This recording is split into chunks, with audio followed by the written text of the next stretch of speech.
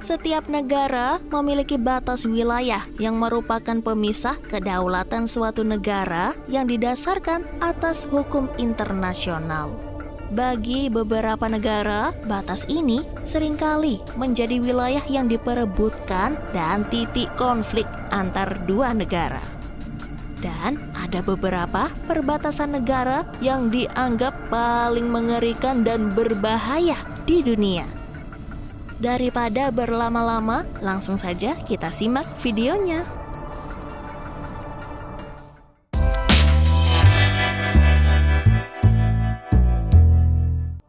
Zona demilitarisasi atau yang biasa disebut DMZ merupakan zona perbatasan antara Korea Selatan dan Korea Utara dengan penjagaan yang sangat ketat Wilayah pemisah Korea Utara dan Korea Selatan sepanjang 4 km ini memang sudah menjadi sorotan dunia. DMZ tepat berada di wilayah desa Panmunjom yang dikenal oleh masyarakat di kedua negara sebagai desa gencatan senjata. Di wilayah ini terjadi kesepakatan penghentian perang Korea dan terpisahnya kedua negara pada 27 Juli 1953 terdapat kawasan keamanan bernama Joint Security Area atau GSA di Pamyongjom yang mempunyai luas 800 meter kali 400 meter. Wilayah militer ini dijaga dengan ketat oleh perwakilan militer kedua negara tersebut. Di sekitaran wilayah tersebut masih banyak ladang ranjau peninggalan Perang Korea yang belum dibersihkan. Tempat ini juga menyisakan suasana haru. Mengapa demikian? Alasannya, pada tahun 2018 terdapat pertemuan untuk pertama kalinya antara keluarga di Korsel dan Korut setelah terpisah selama enam dekade. Pertemuan tersebut hanyalah beberapa dari jutaan orang yang terpisah dari keluarganya selama Perang Korea berlangsung hingga akhirnya keduanya menjadi negara terpisah. Arab Saudi dan Yaman sepakat membuat garis demarkasi perbatasan mereka secara resmi pada 1934. Meski demikian, perbatasan itu menjadi garis kritis di antara kedua negara. Di perbatasan itu pula sering terjadi sengketa terkait basis kesukuan dan ekonomi. Konflik sektarian antara Sunni dan Syiah pun kerap terjadi di sana. Tensi yang terus meningkat itu pula yang menyebabkan kerap terjadi konflik berdarah. Kedua pihak saling melancarkan serangan termasuk roket dan serangan udara. Belum lagi aktivitas Al-Qaeda yang berbasis dekat dengan semenanjung Arab menambah intensitas kekerasan. Sudah ratusan nyawa manusia melayang akibat konflik, terutama di perbatasan kedua negara. Turan Line merupakan garis sejauh 2.400 km yang memisahkan antara Afghanistan di sisi barat laut dan Pakistan di tenggara. Dilansir dari Foreign Policy, Turan Line termasuk daerah yang berbahaya hingga saat ini. Perbatasan itu dikenal sebagai wilayah tanpa hukum para milisi Islam radikal seperti milisi Taliban Pakistan bahkan hingga ISIS menjadikan wilayah itu sebagai markas mereka.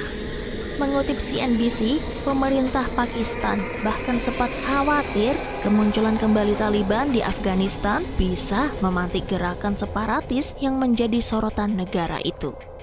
Joran Line termasuk di wilayah Pakistan memang banyak dihuni orang-orang Pashtun yang merupakan mayoritas etnis di Afghanistan.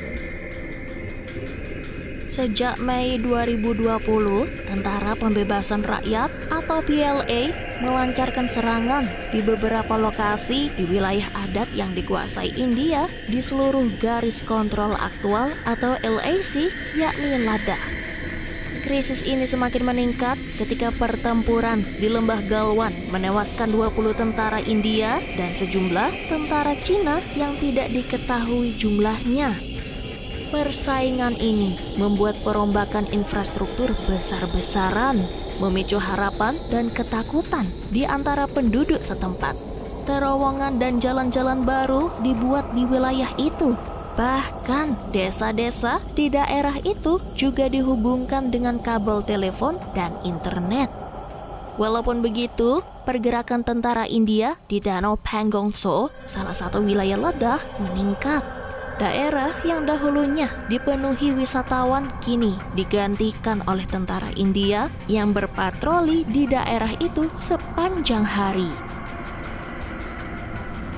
Mengutip Foreign Policy, sekira puluhan ribu nyawa manusia melayang di perbatasan antara Amerika Serikat dan Meksiko sepanjang 3.138 km itu.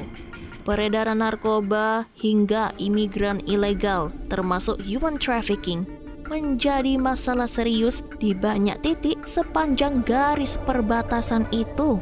Sejumlah titik perbatasan di wilayah Meksiko kerap terjadi konflik berdarah antar gangster yang berebut kekuasaan. Salah satu sumber yang diperebutkan adalah akses untuk menyelundupkan narkotika hingga imigran ilegal ke Amerika Serikat. Masalah perbatasan ini pula yang menjadi persoalan pelik bagi kedua negara, terutama Amerika Serikat mantan Presiden Amerika Serikat Donald Trump bahkan pernah melontarkan pernyataan akan membangun tembok besar untuk mencegah imigran dari Meksiko masuk. Pernyataan Trump itu pun mendapat kritikan tajam karena menimbulkan antipati dari warga Amerika Serikat yang merupakan keturunan Hispanik asal Meksiko. Gaza dan tepi barat adalah wilayah yang diperebutkan oleh Israel dan Palestina. Bentrok antara pihak Israel dan Palestina sering kali terjadi. Pada 28 Agustus 2021 misalnya, jet tempur Angkatan Udara Israel kembali membombardir jalur Gaza Palestina dengan alasan membalas bentrokan dalam aksi unjuk rasa di sepanjang perbatasan. Seperti dilansir Associated Press, jet tempur Israel menyerang sejumlah bangunan yang menurut mereka sebagai fasilitas militer Hamas di jalur Gaza. Sebab menurut Israel, Hamas berada di balik aksi unjuk rasa yang terjadi. Bentrokan yang terjadi antara pengunjuk rasa di Gaza dan tentara Israel terjadi pada malam hari para pendemo melemparkan bom Molotov ke arah tentara penjaga perbatasan Israel. Dalam bentrokan itu dilaporkan lima warga jalur Gaza terluka akibat tembakan peluru tajam yang dilepaskan tentara Israel. Pakistan dan India merebutkan wilayah Kashmir sejak 1947. Wilayah ini memiliki penduduk mayoritas muslim. Sejak lama, Kashmir menjadi sebab pertikaian antara pemerintah India dan militan asal Pakistan. Di tahun yang sama, pasukan India di Kashmir diserang dan menewaskan sedikitnya 40 tentara. Serangan ini diklaim oleh militan Pakistan JZ Muhammad.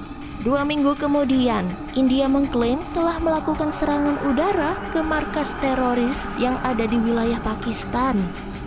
Pakistan membalas serangan ini dengan meluncurkan serangan udara di wilayah Kashmir yang dikuasai India.